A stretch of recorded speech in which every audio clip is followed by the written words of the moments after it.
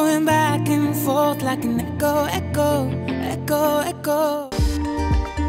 The way that I perform, the way that I sing, has a lot to do with my musical influences over the years, which has been through Amal. Whenever he's out, Kachen Armaan is ready. Core of a singing reality show should be music. My only hope and wish is that the show should be more about music and less about the other things.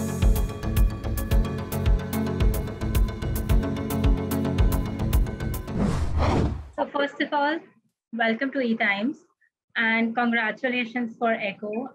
Personally, I love the song.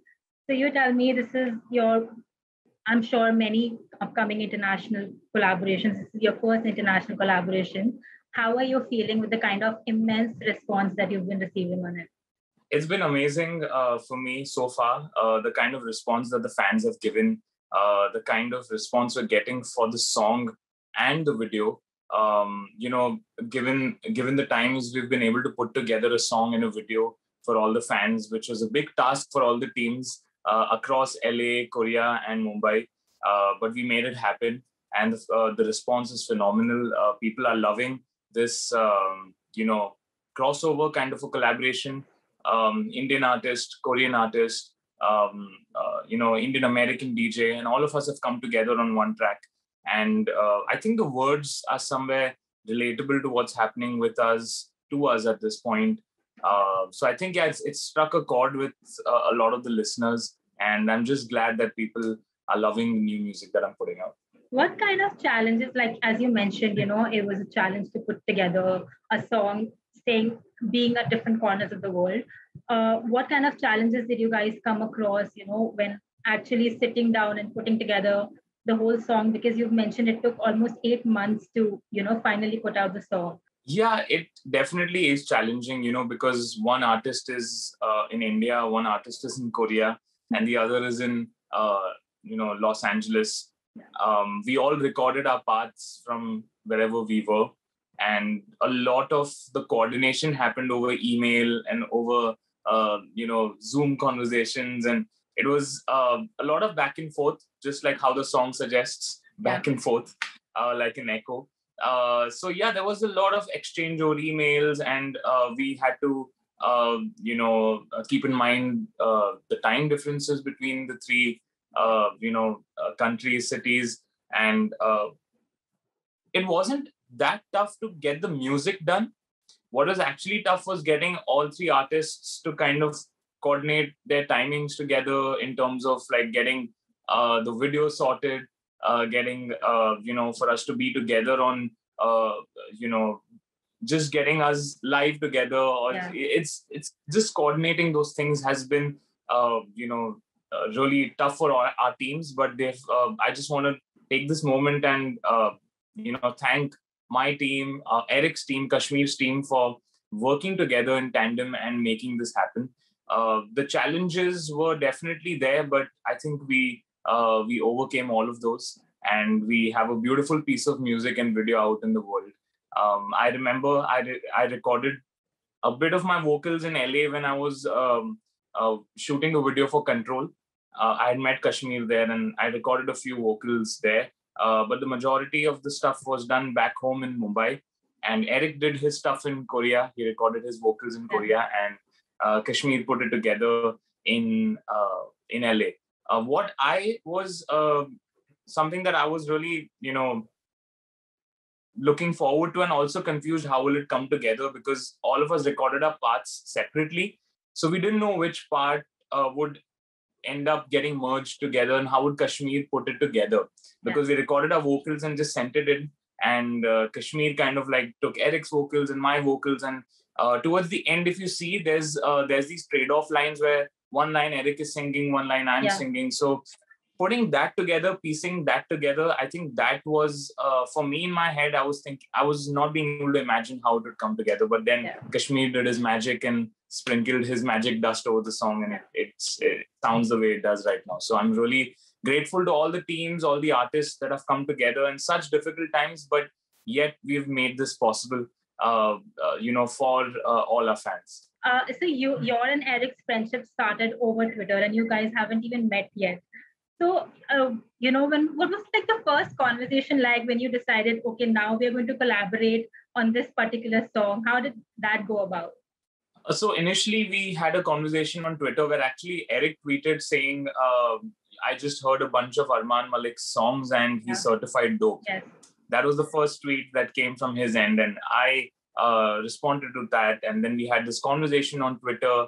Uh, just it, it was just a very cool internet friendship right. that had begun between yeah. me and Eric. Um, and then uh, you know a mutual friend of ours kind of like um, introed his team with my team, and uh, we got talking. Our managements got talking, and uh, uh you know we were discussing a potential collaboration because both our fans, our fandoms wanted us to collaborate, and uh, we had to make it happen. Um, and India, Korea, iPop, K-pop coming together. I think it was a big, big thing uh, for all of us involved. So we were uh, ever since that whole Twitter interaction happened, we've been discussing possibilities to collaborate together. And uh, uh I had already recorded a few bits of Echo with KSHMR in LA, uh, and I had the song on me, and I shot Eric an email and said, "Hey Eric, this is a song that I really like, and I think like we could get you on board for this and like you could be a part of this because I think this is a really beautiful song. So I sent it to him and uh, he immediately said, I'm recording my vocals and sending it in. So it was pretty organic, pretty, uh, you know, uh, how do you say? Um, there was nothing that had to be forced in this collaboration. Like uh, and that's how happen. beautiful it was meant to happen. It, it, yeah. it, that's the beauty about these kind of things. You know, when you force something, it usually doesn't end up working out but um, you know when when the artists are really in love with the music and in love with uh, you know what they want to do with the song. And most importantly each of the artists had immense respect for each other. I really love eric's music. He really liked my music. I'm a huge fan of KSHMR. Uh, for the longest time i've wanted to do something with him. So i think it just all contributes towards making the song a better piece of music and it's just blessed. I feel when the energies are right when everyone's really positive about it and all the right energies combined together it just uh, it's got this divine force and i think fans just get behind it and start loving it immediately. So that's what happened with echo and uh, eight months of emails back and forth uh, had to happen but uh, we made it happen and i'm so glad that we did you know, you've always said that uh, your brother Amal has had a huge influence on the way your music career has shaped up. So, what was his reaction like to this collaboration and when you made him listen to the song first? Oh, he's absolutely thrilled because he is a big fan of KSHMR and his music, and he's always wanted me to do something with him. And uh, when he finally saw this song come out, he had not heard Eric's music a lot before. I kind of introduced him to some of Eric's songs when uh, Eric and I started talking. And he was particularly very excited about this collaboration. We've all been very silent. No one knew this was coming.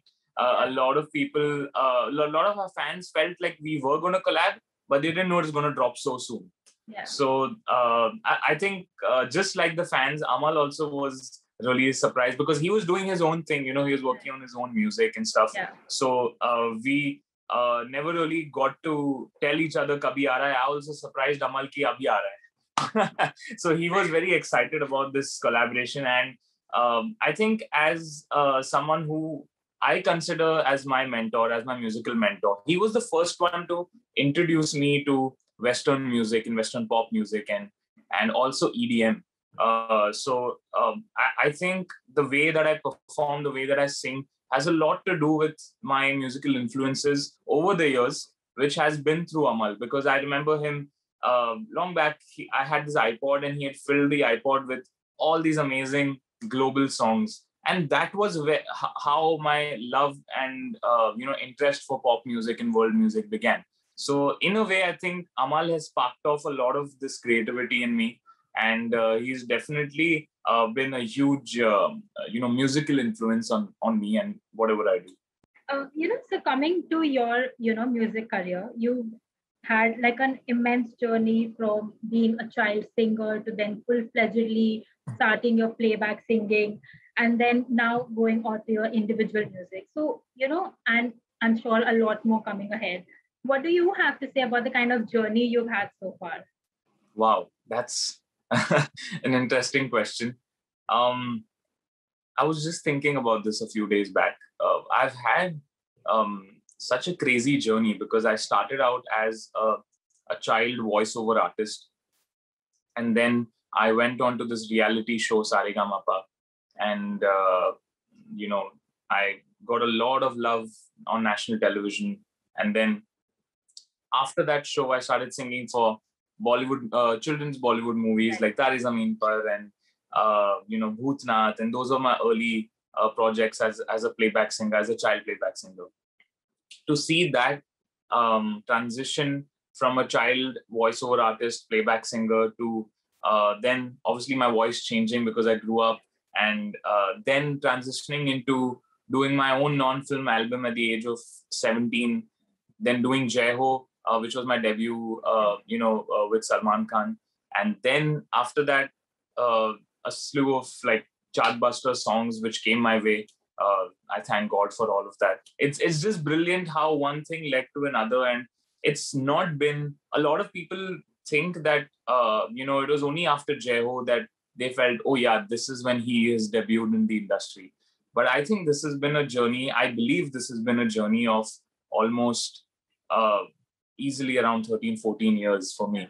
Uh, and not a lot of people take into account the whole uh, you know the first half of my career which was spent as a child singer. I, I feel that is that is where it all started. That's where the the seeds were sown. That's where uh, the armaan malik you see today is uh, you know uh, a continuous effort from those uh, experiences that i've had so uh, i definitely feel it's it's been such an amazing journey from then till now um, and now i am going into a completely different direction. I'm, I'm doing international singles, uh, songs in English pop, which has been my lifelong dream. And uh, I'm so glad that even though I'm doing that, I'm still doing regional music. I'm still releasing music in Telugu, Tamil, uh, Kannada, Hindi, uh, Bollywood films, OTT films.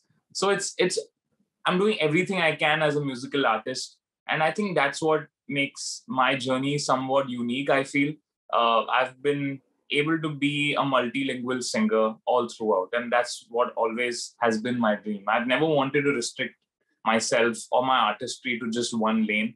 Uh, even though I'm really passionate about what I'm doing right now and taking this whole international music very, very seriously, uh, I I love that I am still staying true to my roots, still doing the things that I'm known for a lot of people know me as Armaan Malik because of all the work that I've done in India. So uh, it's amazing to do that and do this and do it all together and still do it successfully. I think it's it's beautiful. I'm blessed and grateful that I get to be on this journey. I really feel like my journey, uh, what I want my journey to be is an inspiration to other young musicians in this country in India uh, because if I could do it in all those ages, I think anyone else can. And I really want young musicians to come up. Uh, not a lot of uh, you know Indian musicians have been able to do stuff, go global, try to do uh, you know uh, international music, pop music, and I feel I want to open those doors. I really want to because I didn't have anyone else to open that for me. I hope that I can open it for a lot of people uh, in this country. So uh, fingers crossed. I hope I have uh, the country's support in whatever I'm doing. That was actually going to be my next question. You know, with the project like Echo and uh, uh, with someone like Priyanka Chopra and A.R. Rahman sir, and even a band like BTS, the kind of Asian representation that's been there on global stage now is a lot improved from what it was then. So, what 100%. do you so, what do you have to say about the current standing of Asian representation on the global stage, and what would you like to change to that? So, I personally feel that uh, over the years, like, I mean, uh, in the last few years, I've seen a lot of artists from uh, from South Asia, especially from the Indian subcontinent, and obviously uh, from Asia, like BTS and Korean pop stars and everyone really making a name and making a global uh, you know uh, presence felt everywhere and i think it's really encouraging for everyone uh, from asia because this is a moment that we've all been waiting for we've all always uh, wanted to do something uh, you know, not just restricted to our nation, but also take what we know and what we do and take it global and make it much more massive. And I think uh, now is the perfect time to do that. I'm I'm I'm glad that with whatever I am doing, I'm making uh, it. It might not be hundred steps, but I feel like one step also is making us closer to that dream that all of us have as musicians and as uh, Indian uh, artists. So for me, um, I've always wanted to see uh, someone from my country representing India on a global stage, and uh, sir has done it in the past. Uh, you know, uh, Priyanka Chopra has been such a prime example of how uh, an Indian can go on and achieve so much in the world. So I really want to do that as a young, uh, you know, pop singer songwriter. Um, not a lot of singers or pop stars have come out of India. Right. Um, we haven't seen, uh, uh, you know, there's Justin Bieber, there's uh, there's Lady Gaga, there's uh, Beyonce. Everywhere, you know, there's this. Every country has their own pop stars. India has never had that one pop star that they can uh, be like, yeah, this is this is our guy or girl in in the world and doing us proud. So I really want to be that, and I want that through my journey, I'm I'm able to inspire other young people who want to do the same thing. So uh, I'm glad that now is the most perfect time for us to do this, make this change, uh, because others have already kind of opened up the gateway. Uh, I would definitely uh, give props to Priyanka Chopra, give props to Rahman sir, because they've made our presence felt in that part of the world. Uh, they've made Indians really proud. So I, I feel like they've done the initial part of the work, but a lot of work has to be done by the other artists from India to make that happen. No one's going to give you anything in a platter. We have to make the movement on our own. Uh, I never saw anyone else do it uh, for me. I had to go out there and get my songs out there. I, I was always waiting. When will I be able to do you know English pop music, or when will I be able to uh, you know take India global?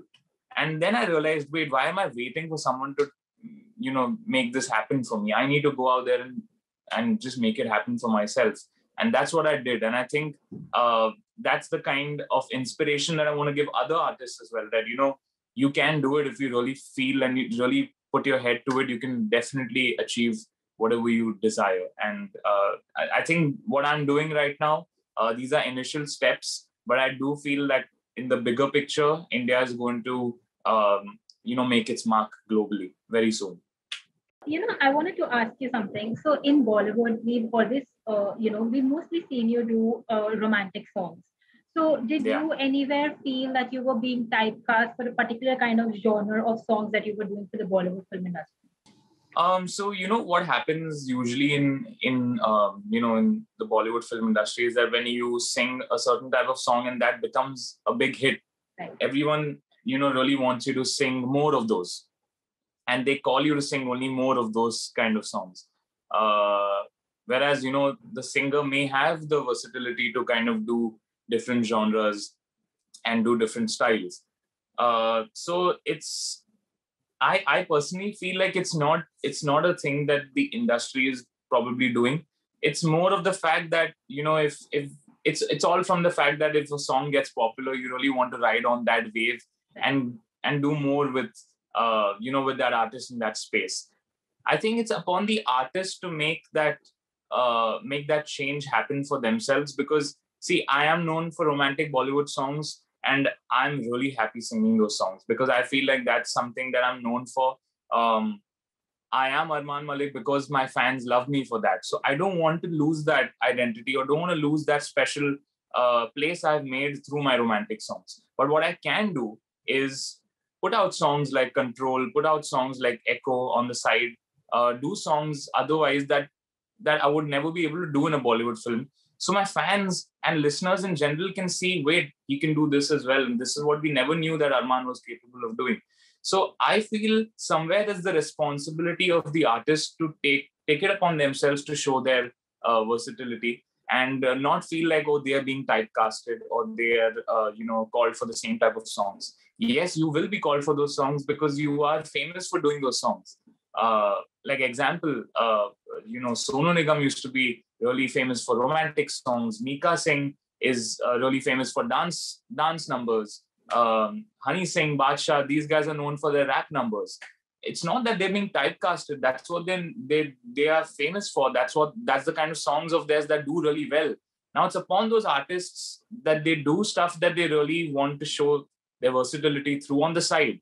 I think the artists need to take that upon themselves and do uh, uh, do that on the side. So I'm glad that I've been able to in the last two years put out songs like Control, Next to Me, How Many, and now Echo, so that listeners can look at me and see me in a very different way than uh, they have, you know, seen me before. So uh, yeah, that's my answer to your question. So you've been a part of music reality shows as a contestant and even as a judge. So would you say over the years the the kind of uh, you know the way the show has you know shifted more towards the drama angle of it more than you know showing the talent of a particular contestant. See i've been part of a reality show long back even when i was a kid. Um, back then obviously there was a very different atmosphere. Uh, my only hope and wish is that the show should be more about music and less about the other things. That's all. As a singer as a musician i feel like that's what the focus should be. So i hope going forward uh, all the shows that uh, we do in our country that we focus a lot more on the music. Obviously there are certain elements in a show that are part of which uh, do entertain people and audiences sitting at home. But the core of the show the core of a singing reality show should be music.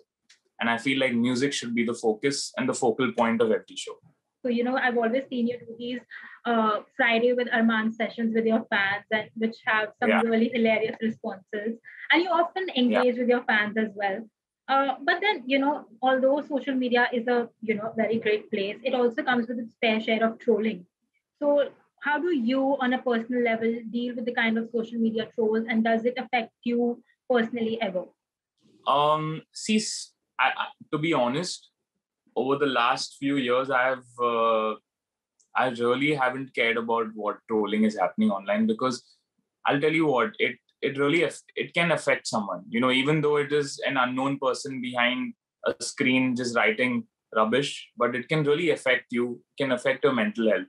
So i follow this uh, very simple system called scroll the troll. As soon as i see something that's negative i just scroll down. That's what i follow uh, if you spend too much time you might want to respond you might say something wrong you don't want to get into that zone so i feel like the best way to stay away from negativity is to okay, you saw it once, scroll down. So scroll the troll is what I follow. That's my mantra. That's really cool, actually. Coming back to your Twitter, we've always also seen you, uh, you know, expressing your love for K-pop music in general. And in fact, yeah. last year you even sang EXO Chen's uh, "Beautiful Goodbye," a small cover of it. So, what kind of, yeah. uh, you know, which bands do you usually follow, and what do you have to say about the kind of spread that even K-pop music has had, you know, on a global stage right now? I think it's beautiful what the K-pop industry has done uh, for uh, Asians and Asian artists. Uh, they have kind of, you know, uh, made their presence felt in such a huge way. Uh, you know, through bands like EXO, through bands like BTS, and uh, some solo artists as well. You know, example Eric Nam. So I think all these different artists and groups have done some commendable work over the past few years. Their teams have done some really amazing work in making sure that whatever songs they put out really does well globally. So I think it's it's beautiful. The whole movement is beautiful. What's what's happening. Uh, it also uh, inspires a lot of other Asian countries, other Asian artists, uh, including myself and India, to kind of do something for our country and for our nation and our music as well. Uh, I've been a fan of uh, EXO for a long time now uh, I really love uh, Chen and his voice. I think his vocals are amazing. Um, and uh, yeah, I've done a small little cover on my Instagram, and I've sung it in Korean. A lot of fans were like, "Wow, we didn't expect this." so I, I, think I just have love for music, which is uh, which can be in any language. It doesn't need to be in Hindi or English um, for me to enjoy it. So I think that's the beauty about music, and I have loved uh, you know K-pop and the music that's coming out since the last few years. What I particularly love about K-pop is I, I don't know if this is highlighted much, but I love the ballads and the soft songs that yeah. they have. You know, uh, there are definitely a lot of uh, you know the peppy numbers and there's obviously a lot of those dance routine music videos which do really well. But what i love being obviously i'm i'm also a romantic singer from bollywood. So i have this uh, you know a special place in my heart for you know for these ballads and soft numbers that they do.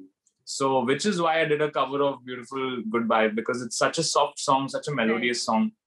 It really uh, touched my heart. So uh, I don't know if a lot of people talk about those ballads, but I feel like they should be more popular than they are already. So, do you ever want to like, apart from Eric, of course, do you ever want to like, are there any K-pop artists or Korean artists on your wish list that you would want to collaborate with, and maybe if we see you singing in Korean as well? I would love to. Um, I think uh, Chen is one of my favorite artists. Chen and Kai, I think both of them are amazing. Uh, obviously Chen, I think, is inactive right now. He's he's uh, serving in the army, if I'm not wrong. Yeah. Yeah. So uh, whenever he's out, tell Chen Armaan is ready. I'll I'd love to collaborate with him. I think he's got a very beautiful voice. He sings amazing uh, live. I've seen a few clips online. I think it's beautiful. I really uh, appreciate uh, you know someone who can sing that beautifully live as well. I think that's something that really shows uh, the musicality and artistry of an artist. Uh, so yeah, definitely Chen and Kai are some uh, some of the artists that I would love to collaborate with, and um, obviously uh, everyone's favorite and my favorite as well, BTS. I think they're cool. Uh, I love their sound and love what they've been doing in the past few years. So yeah, these are some of the artists. There are some really cool solo artists also coming up. Um, I haven't really uh, you know gone deep into their music yet, but uh, you know, for me, it uh, connecting with the artist is very important, and connecting with their music is very important, and that's how you know me and Eric collaborated because we really had this mutual love for each other's music uh, and each other's uh, artistry, and and that's when the fun of collaboration really happens. So uh, it, it could be any artist actually in the world. I just feel like if we connect, I would love to do a song with them. It's as simple as that. Thank you so much for talking to us and giving us your time. All the very best for the upcoming projects. Thank you. Thank you so much. Great talking to you.